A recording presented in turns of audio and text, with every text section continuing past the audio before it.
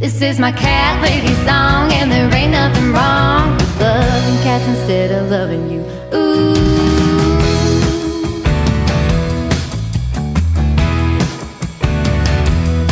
Well, she curls up